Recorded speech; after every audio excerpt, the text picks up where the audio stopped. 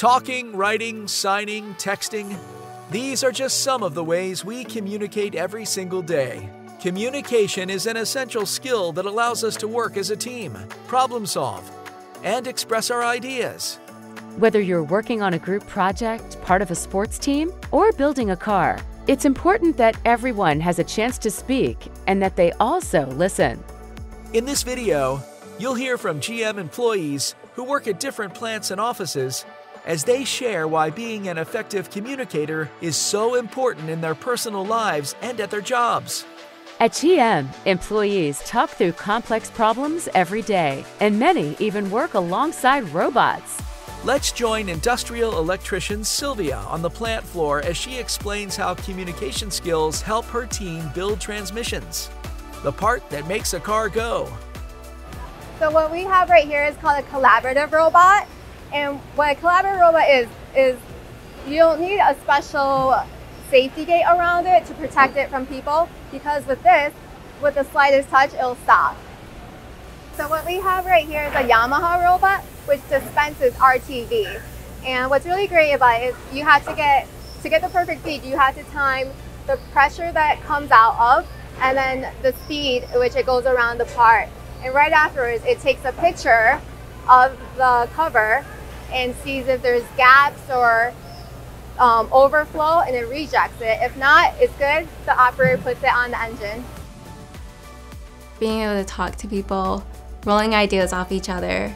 Communication is the number one thing here because you are working with other people and you want to be able to explain what is going on efficiently and precisely so they can start troubleshooting themselves and you're not leading them on the wrong path because you gave them the wrong information.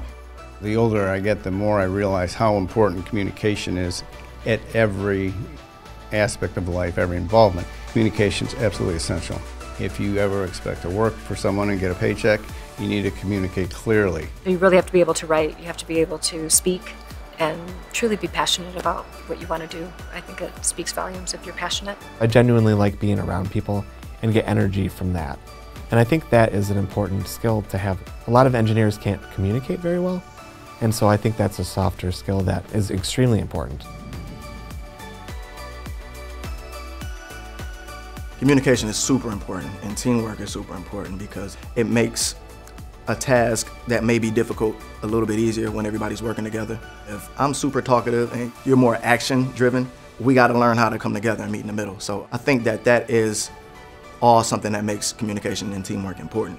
It's very important to work on your relationships with the people you work with because they're going to know stuff that you don't know and they're going to help you out. We're here with them more than we are with our family some most days. So throughout the years and just being in sports, you really have to lean in on each one another to be successful. We're all from different backgrounds, we're all different people. We all have different feelings, thoughts, and emotions, but when it all comes together, we paint a beautiful picture. You're not always going to agree on the same way of doing something, but that's okay.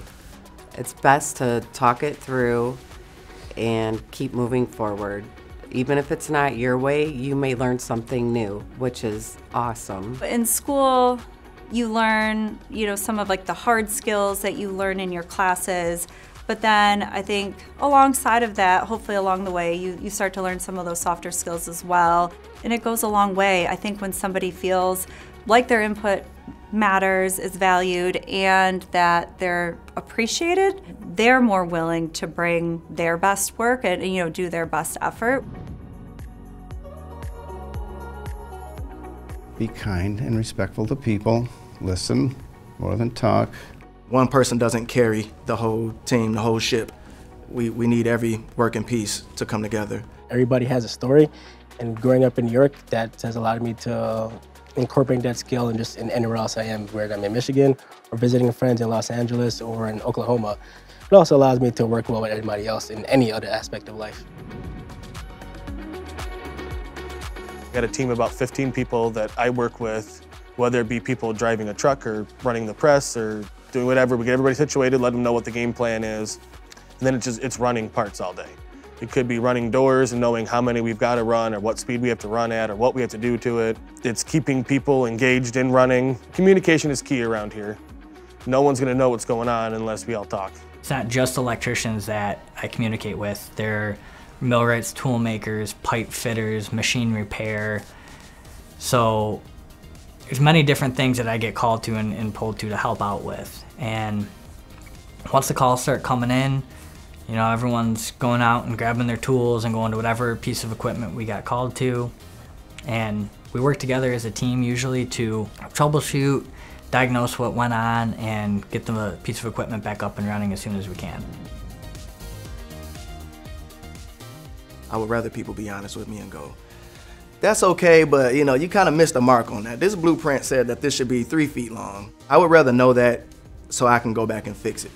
Because you can't get better if you don't know that you, you're not good at it.